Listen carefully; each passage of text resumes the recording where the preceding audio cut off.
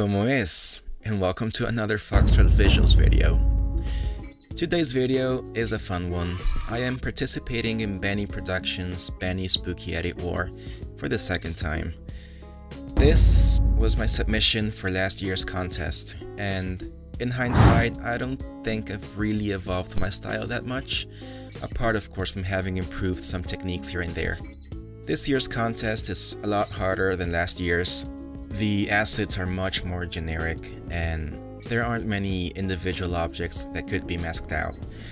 That being said, I've actually redone this image for about three or four times until I had to settle on one idea because I was already running out of time. I was desperate. There have already been over 1,000 submissions, many of which are truly amazing, especially this one. Holy fuck. And so I'm pretty certain this will be a very tough competition. Anyway, let's get straight into it. The clouds.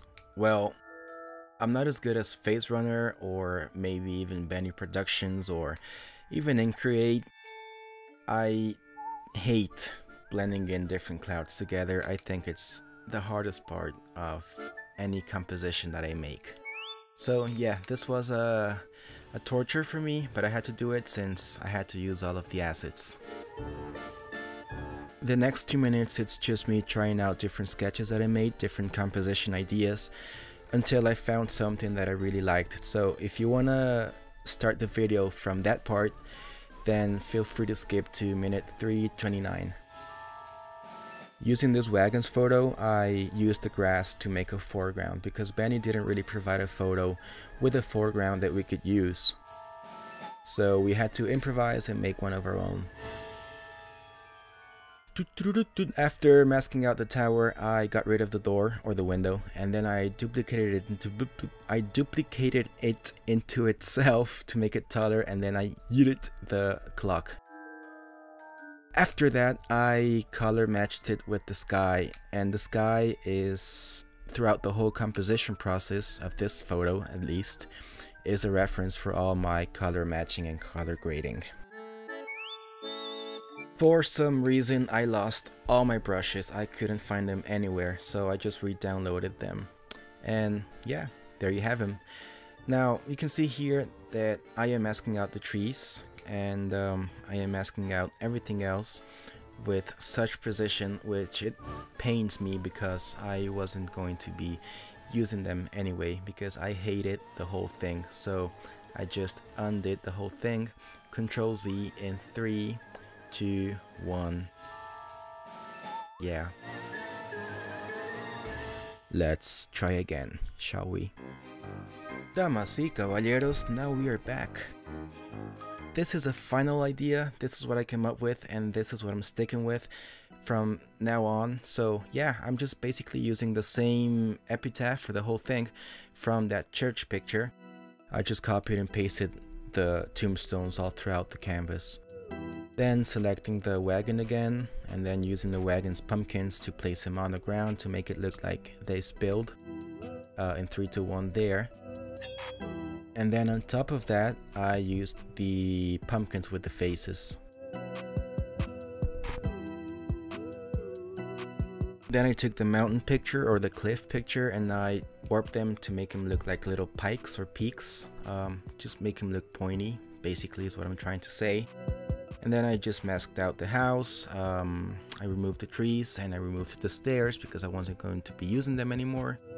And now it was time for color grading. Again, the sky is my reference for all of the color grading in this picture.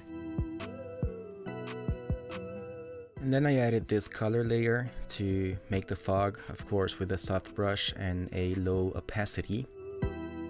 Adding fog to compositions like these is great because it helps us distinguish between the foreground and the middle ground and the background. It gives the image more depth, more realism. And it also helps give out, you know, mysterious vibes to the image, which is very well needed on a photo like this for Halloween. Using another color layer, I painted the windows on the towers as well as the house. I didn't really care much about the frames that were there originally because you cannot really tell the difference in the distance and I was going to blur it out anyway so as long as you could see that something was lit in the house and in the towers that was enough for me. Using an exposure layer it was time for my favorite part in the whole thing. It's the shadows. I already pre-visualized that this lightning would be striking on that cross so that's why I made the shadows like that before I placed the, the lightning.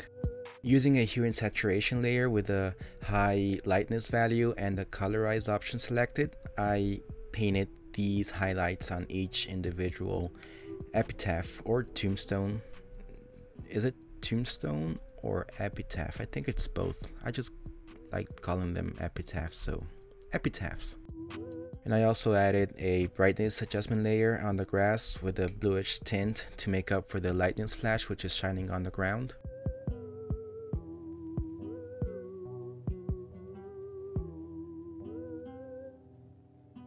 At this point I am adding highlights to everything in the photo using the same technique as the epitaphs or the tombstones using the hue and saturation adjustment layer with the colorize option enabled.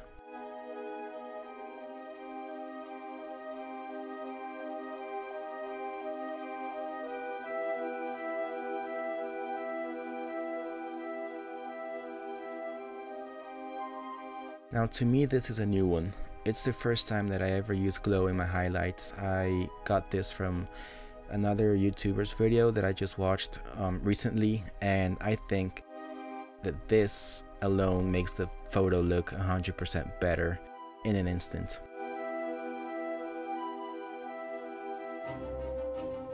Now I know that I might have overdone it. The glow on the lightning there is way too much. It's way too exaggerated, but I think I fixed it later, so that's good. For the pumpkins insides I used a combination of solid colors and gradients to give it depth and then some glow using the layer effects. And of course the light from the pumpkins had to shine on the ground, even just so barely. Then adding the particles that Benny provided and then doing some color grading using the color lookup tables and the camera raw filter, I considered this photo complete. Thank you so much for watching this video, I hope you enjoyed it and happy Halloween.